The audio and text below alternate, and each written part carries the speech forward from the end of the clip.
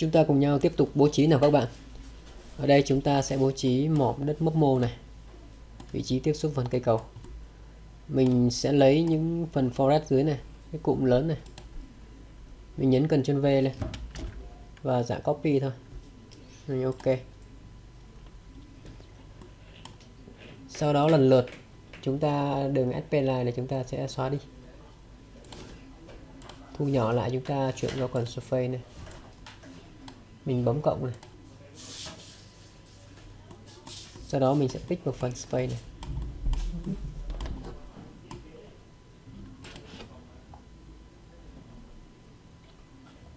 Các bạn thấy rằng mình đã pick, nhưng mà đối tượng của chúng ta chưa hiển thị. Chúng ta qua phần Arial này. Các bạn check on lên. Thì lập tức cây chúng ta đã hiển thị rồi. Thì đây cũng là một cách mà chúng ta sử dụng đường à, FPLine cái đối tượng forest trên FPLine mà chúng ta chuyển qua phần space. Thì các bạn nhớ check on phần này lên thì mới hiển thị, còn nếu chúng ta off đi thì nó không hiển thị. Các bạn chú ý điều này nhé vậy là chúng ta đã có cây cỏ bố trí ở vị trí đó rồi. Bây giờ mình sẽ chuyển qua space và mình sẽ bố trí hết các cây tầm thấp nhất có thể ở những vị trí mặt phẳng này và mặt phẳng này. Mình làm như sau. Mình bấm forest mình chọn mặt phẳng. Ờ, một hộp thoại hiện ra. Thì chúng ta được nhắc là sẽ có phần camera limit, tức là đối tượng chúng ta khá nhiều. Và ở đây camera sẽ giới hạn ở phần chúng ta hiển thị, tức là những phần nào gần thì chúng ta sẽ hiển thị rõ ràng, những phần nào xa mà khuất thì phần mềm mặc định sẽ cho chúng ta hiển thị ít thôi, để cho nhẹ cái khung cảnh chúng ta. Và mình sẽ chọn ít các bạn thấy nha sau khi enable phần camera mà chúng ta vẫn chưa thấy hiện tượng gì xảy ra, thì mình thể chuyển qua đây này. Ở đây chúng ta có phần camera ở đây. Ở đây limit visible này đã được kích hoạt rồi. Bây giờ các bạn muốn thấy nó hiển thị chúng ta làm như sau. Ở phối cảnh này mình nhấn C. Và giờ mình à, chọn lại phần perfectly để các bạn thấy. Mình à, nhìn dưới này. Đây, các bạn thấy không? Vừa rồi phụ đều, còn bây giờ camera ở vị trí này, mình shift C lại. Các bạn góc nhìn camera này. Thì nhìn góc nào thì cây sẽ hiển thị góc đó thôi, chứ không ờ, full hoàn toàn nữa. Thì đây là phần ý nghĩa trong phần ờ, limit to visible. Mình thu nhỏ lại. Mình shift C ở camera đi cho dễ. Sau khi chúng ta đã có format phần này rồi, mình về phần geometry. Add một vài đối tượng mới vào đầu tiên, các bạn bấm vào phần này. Chúng ta sẽ add nhiều đối tượng một lúc. Ở đây mình sẽ add phần class từ 101 này, ba đối tượng này. Mình add luôn.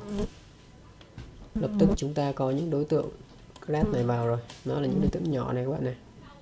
Nhỏ xíu xíu này. Còn những phần default này mình có thể chọn. Nhấn đi delete xóa đi mình thu nhỏ lại. Chúng ta xuống phần description map. Rồi, density được rồi. Cái này mình có thể giảm lại để tăng số lượng lên. 45 chẳng hạn. 5 này. Số lượng sẽ nhiều hơn. Đó.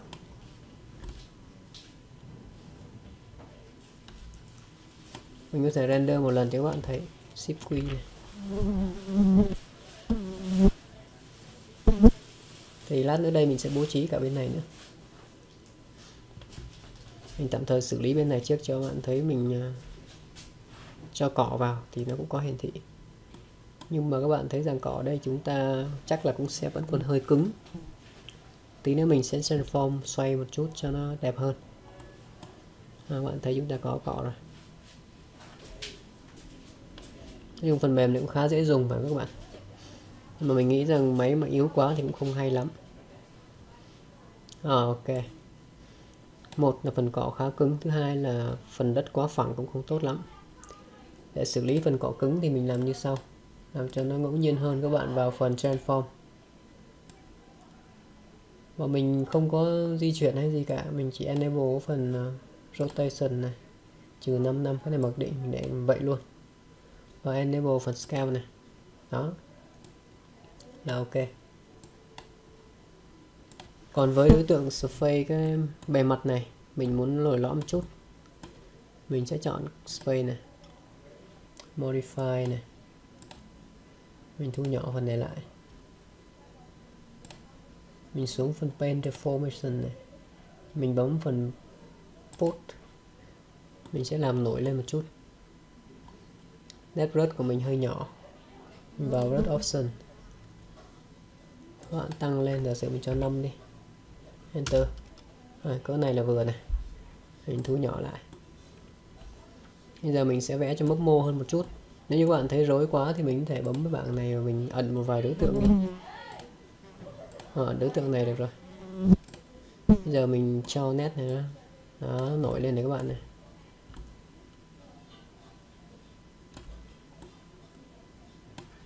Rồi mình sẽ giới hạn cái chiều biến dạng.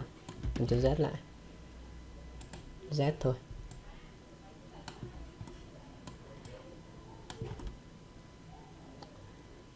Làm cho mức mô một chút.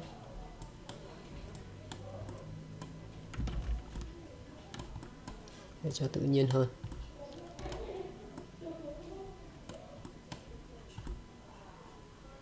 À, chắc tới đây thôi.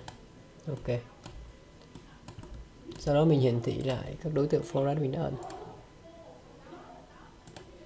mình thấy rằng đối tượng forest của mình cũng chưa cập nhật. Có nghĩa là nó không không chạy theo những cái đường đường lồi lõm trên này. Mình tạm thời dừng lại. Đối tượng này mình muốn nó đẹp hơn thì chắc chắn mình sẽ phải subdivide nó tăng lên một chút. Các bạn vào modify, chọn đối tượng này. Bấm xuống. Chúng ta chọn lại smooth S. Smooth này. Rồi, thấy vẫn còn khá cứng mình có thể chọn cấp độ auto luôn đi cho đẹp hơn. Ờ, ok. Bây giờ các bạn muốn đối tượng này nó cập nhật và nó sẽ chạy theo cái khoảng mốc mô ở trên bề mặt các bạn nhấn F3 đi. Chọn đối tượng forest của chúng ta. Mình F3 bên này lại. À, sau khi chọn mình qua phần aerial này à, không phải xin lỗi các bạn chắc là phần sway thì đúng hơn. Các bạn thấy có phần à, updates update bấm vào. Lập tức các đối tượng này nó sẽ chạy theo đường mốc mô. Và lần sau nếu như chúng ta không muốn tự động làm bằng tay nữa thì mình có thể bấm auto rồi để mặc định. Đó vậy là cũng khá ổn. Tương tự mình sẽ bố trí qua bên này. Mình đang ở đối tượng này nhấn Ctrl V tiếp và chọn copy còn phần rename thì cứ để phần mềm mặc định xử lý. À, sau khi được rồi thì chúng ta ở phần sphere này mình có thể xóa một chú này đi. Rồi pick một chú mới vào. Đó vậy là cũng lên. Và cũng uh, kích hoạt phần camera visible để cho khung cảnh chúng ta nhẹ hơn. Nhưng nếu như chúng ta tinh ý thì các bạn thấy rằng cỏ cây là mọc hết ở phần đường rồi. Cái này là không không ok lắm. Ở phần này thì liên quan đến phần brush các bạn thu nhỏ lại. Chúng ta sẽ cùng nhau khám phá phần brush cũng chúng ta sẽ cách ly những cây ở khu đường này ra. Win class, đây không phải là phần này. Các bạn vào phần area này. Để chúng ta tẩy bớt những phần cỏ cây lấn ra đường này, các bạn làm như sau. Các bạn bấm vào phần add new pane. Ok. On. Và các bạn chọn exclude tức là mình sẽ loại trừ bấm vào brush này. Chúng ta sẽ vẽ vẽ trừ đi những phần không cần thiết loại bỏ phần cây khỏi đường này. Đấy, các bạn thấy dễ dàng không? Mình hơi mất thời gian tô chút. Thì trong cảnh nó sẽ đẹp hơn. Chứ còn đâu nếu mà để nguyên như vậy thì cây lấn ra đường thì không hợp lý lắm. Đương nhiên đây là một quá trình cũng khá tỉ mỉ nhưng mà để đạt được một bức ảnh hoàn hảo thì có tỉ mỉ một chút cũng không vấn đề gì. Còn phần còn lại ngoại cảnh có đẹp hay không thì cũng tùy cảm nhận của từng người. Đây mình sẽ chỉ các bạn những bước cơ bản nhất. Còn sau này ứng dụng thì các bạn có thể biến tấu hơn nữa. Đó, mình xóa lần lượt đối tượng này.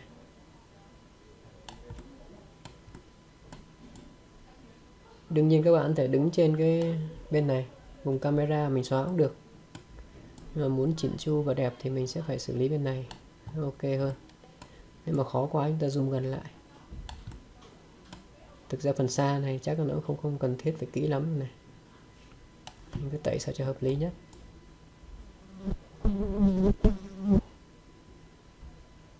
À, ok. Đến đoạn cua vòng này. Sắp xong rồi các bạn. Khá đơn giản thôi.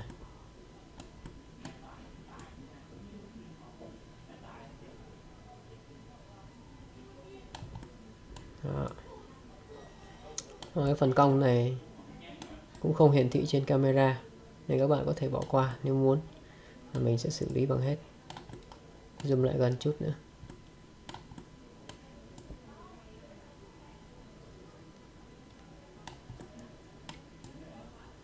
Mình nghĩ nếu mà ngoại cảnh thì sử dụng phần mềm này mình nghĩ nó cũng tối ưu lắm rồi. Không cần sử dụng các phần mềm khác nữa và học phần mềm này thì cũng rất dễ không hề khó khăn chút nào.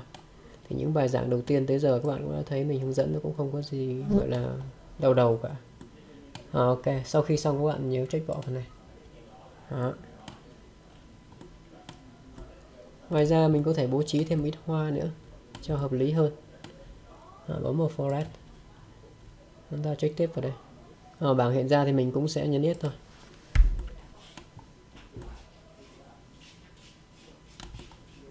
Bây giờ mình sẽ qua modify cho vài cây hoa vào. Các bạn bỏ phần area đi. Các bạn vào phần geometry. Add. Chúng ta tìm phần flower. Có lẽ bên trên. Hai, flower 1 2 3 này. Ship. Add. Vậy là ok. Mình xóa luôn cái phần ấy đi các bạn. Phần mặc định của nó trên này đi. Phần default đã xóa đi. Thu nhỏ xuống phần description map này. Tăng giảm kích thước sao cho hợp lý nhất? Mình cho khoảng 5 thôi. Để dày lên. Và mình sẽ tiếp tục dùng rớt để chúng ta xử lý đối tượng này. Các bạn về aerial đầu tiên chúng ta sẽ survey, chúng ta check off đi.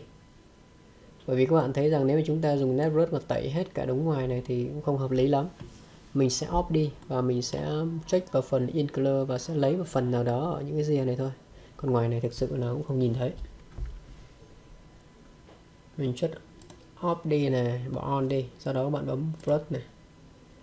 À, bấm vào phần plus này. Include tức, tức là bao gồm. Mình sẽ vẽ trực tiếp trên vùng này. Mình vẽ này bao gồm những cái hòa phần này thôi à, nhưng mà có vẻ độ phân bố này nó không không không hợp lý lắm. Mình cần chân Z lại mình phải qua phần đít cái chân này. Nó quá dày. 5 thì có 50 đi nó mỏng mỏng thưa thưa thôi. Đen thì ok rồi thu nhỏ lại. Mình pen lại. Đó mình chơi thưa thôi. Còn đâu mà nó mà nhiều quá thì cũng không không thực sự đẹp lắm đó mình sẽ xử lý hoa ở vị trí này. Trông cũng khá dễ dàng thôi. Đó, vậy là ok rồi. Chúng ta có cỏ và có hoa. Coi bên này xem thế nào.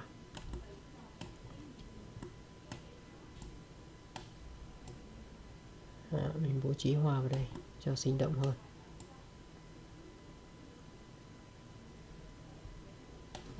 Còn nếu như nó ít quá thì mình có thể chỉnh lại sau cũng được, không vấn đề gì.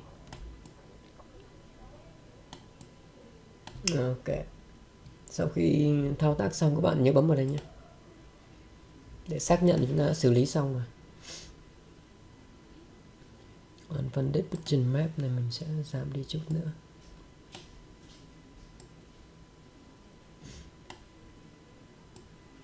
Hai mươi đi. Số lượng hoa nhiều hơn rồi. Vậy là ok. Mình sẽ bấm render lại để các bạn thấy hoạt cảnh của chúng ta nó đẹp hơn. Chắc mình sẽ bố trí thêm hoa bên kia nữa cho hợp lý hơn.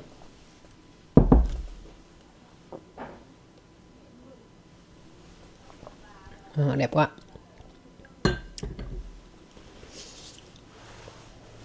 À, ok nhìn tương đối ổn. Sẽ bố trí thêm phần hoa bên kia nha các bạn để cho nó đẹp hơn.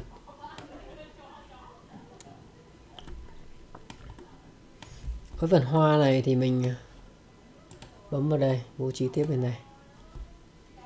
Rồi, cũng qua bên này. Geometry này SEO lên trên chọn hoa. Flower, add này. Xóa phần default đi. Description này. 20 thôi. Thu nhỏ lại. Transform chúng enable lên cho đẹp. Rồi, ok. Mình xem còn gì nữa không để chúng ta xử lý tiếp theo. Nó cũng tương đối hoàn chỉnh rồi. Bây giờ mình sẽ render tiếp. Con thấy có những cây hoa bao giờ nó cũng nhìn cảnh mình trông nó sẽ mượt hơn. Ở đây có những cây hoa này nó không không ổn lắm này. Mình có thể xử lý lại nó. Các bạn cũng có thể dùng nét brush vừa rồi á mình chọn đúng cái phần forest mình tẩy đi. Bên này có hoa không? À, xa và cũng cũng thấy đấy các bạn. Nó cũng sinh động hơn rất nhiều. Cái gần này thì dễ nhìn hơn. Có những đốm hoa trắng đỏ hồng này rồi, ok. Ở bài này các bạn đã học được phần brush in color surface bề mặt. Chúc các bạn làm được hoàn thiện từng bước và làm cho mình những cái ngoại cảnh đẹp nhất với cây cối. Còn các bạn có thể tạo thêm những cái thư viện riêng của mình để xử lý những cây cối theo gu của mình. Chào tạm biệt các bạn. Hẹn gặp lại các bạn ở video sau.